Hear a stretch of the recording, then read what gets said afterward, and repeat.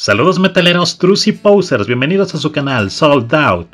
Yo soy Rigotti y hoy nos sumergiremos en el fascinante mundo de los personajes de David Bowie. Comenzamos. Mayor Tom, el astronauta enigmático.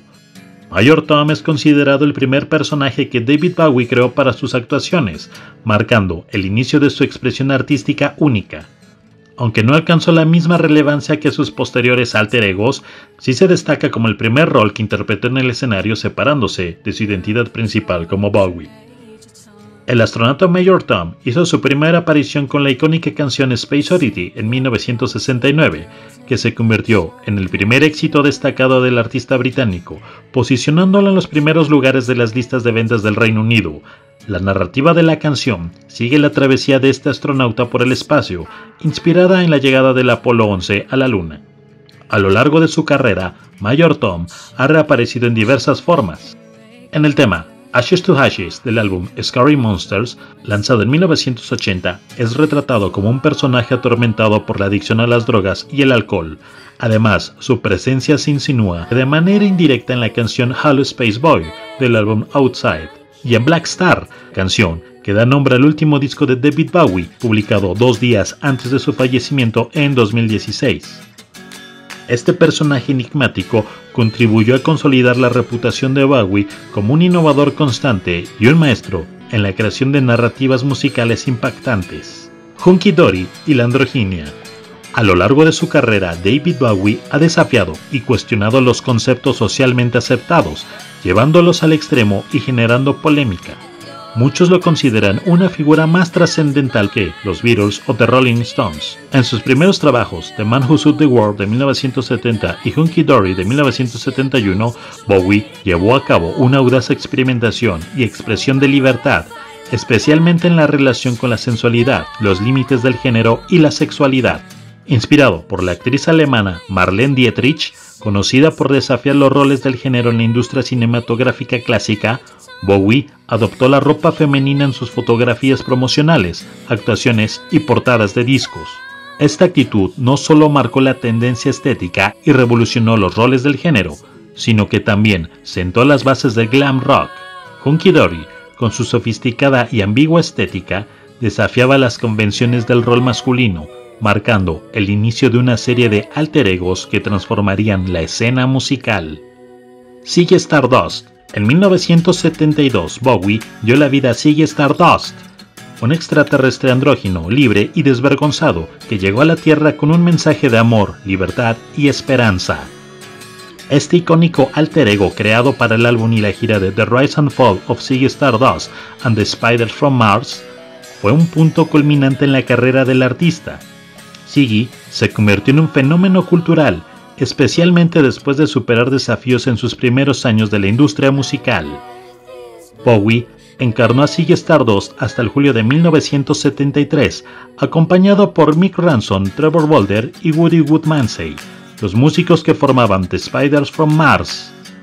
Las actuaciones de Ziggy en el escenario fueron provocativas, abordó temas de liberación sexual, drogas y ecología, la estética de Ziggy con prendas ajustadas, colores llamativos y detalles brillantes tomó inspiración de las transvestis neoyorquinas del círculo de Andy Warhol. Bowie admitió que la mayor influencia para Ziggy Stardust fue el cantante británico de rock and roll Vince Taylor, quien se consideraba un mesías extraterrestre. Bowie confesó que deshacerse de Ziggy fue un desafío, ya que el personaje se había infiltrado en su vida cotidiana debido a su intensa popularidad. Aladdin Shane, el sexto álbum de Bowie lanzado en 1973, fue también el segundo alter ego del artista. Las canciones se escribieron durante la gira norteamericana de The Rise and Fall of Ziggy Stardust, y Aladdin compartió características espaciales y andróginas con Ziggy. Las prendas de Aladdin Shane fueron diseñadas por el japonés Kansai Yamamoto, fusionando elementos de la cultura japonesa como el teatro kabuki con detalles extraterrestres. El icónico rayo rojo y azul asociado con Bowie hizo su primera aparición en este alter ego, convirtiéndose en uno de los símbolos más reconocibles de su carrera. The Thin White Dog fue el alter ego de David Bowie durante los años de 1975 y 1976. el disco Station to Station apadrinó su llegada y el cantante británico actuó bajo los designios de este personaje en la gira Isolar.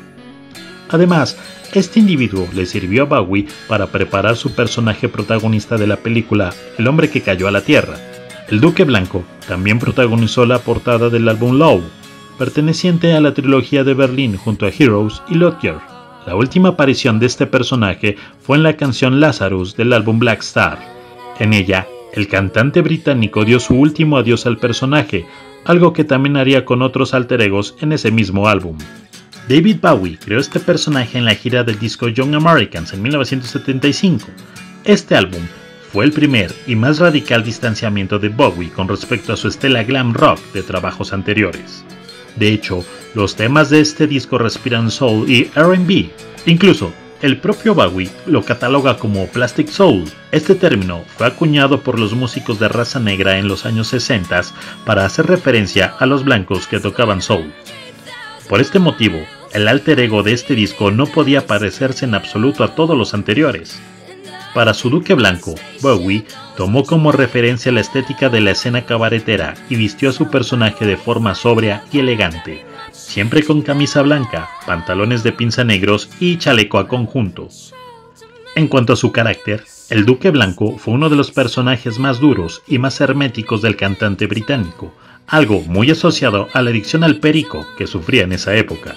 De hecho, muchos recuerdan a este por sus polémicas declaraciones profascistas y por su actitud fría y distante. El propio Bowie confesó años después que este rol fue el más tóxico que experimentó, siendo un reflejo de lo que era su vida y su adicción a las drogas. Como detalle llamativo, en esos años comentó que solo comía pimientos rojos, leche y Blancanieves. Con este personaje, el cantante decidió poner fin a su desgaste emocional y físico, cambiando su residencia de Los Ángeles por una casa aislada en Suiza, residencia donde se desintoxicó. Más tarde, al mudarse a Berlín y viviendo con Iggy Pop, tuvo una serie de recaídas. Sin embargo, fue ahí donde se elaboró la ya mencionada trilogía de Berlín y, junto a Brian Eno, crearía su famoso tema Heroes. La obra musical de David Bowie es un claro ejemplo de la experimentación respecto a los límites de su propia individualidad y de su propio concepto de artista. Otros alter egos de David Bowie. En la rica paleta de personajes que David Bowie ha creado a lo largo de su carrera, algunos de ellos han aparecido de manera fugaz, ya sea para complementar una canción o un videoclip. Destacan entre estos personajes secundarios los siguientes.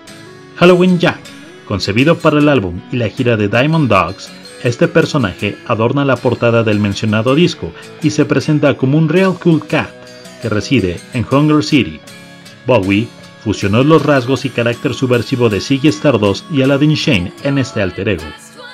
The Soul Man surgió como una evolución de Halloween Jack durante la gira de Diamond Dogs, especialmente para interpretar temas de soul y rhythm and blues, que luego formarían parte del álbum Young Americans. Vestido con prendas de estética disco, colores pastel y un distintivo tupé anaranjado, este personaje sirvió como preludio al icónico The Thin White Duck. The Blind Prophet. Este es el último personaje que Bowie interpretó antes de su fallecimiento en 2016. Se destaca en los videoclips de las canciones Black Star y Lazarus, representado como un hombre con los ojos vendados y ataviados que se distingue por ser uno de los más siniestros y oscuros del artista. De Sigue Stardust a The Blind Prophet, pasando por el Duque Blanco y Aladdin Shane. David Bowie fue todos ellos y quizás ninguno a la vez.